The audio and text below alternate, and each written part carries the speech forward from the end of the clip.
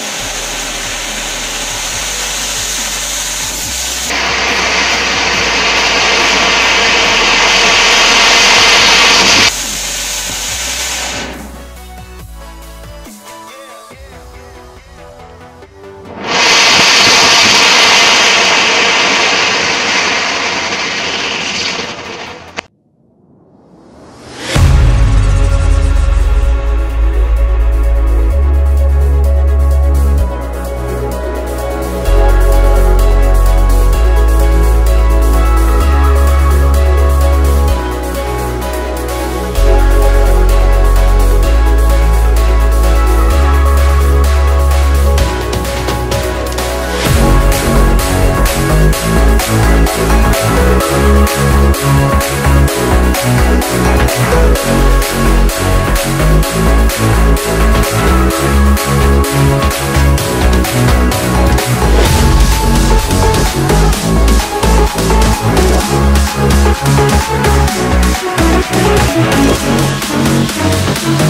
back.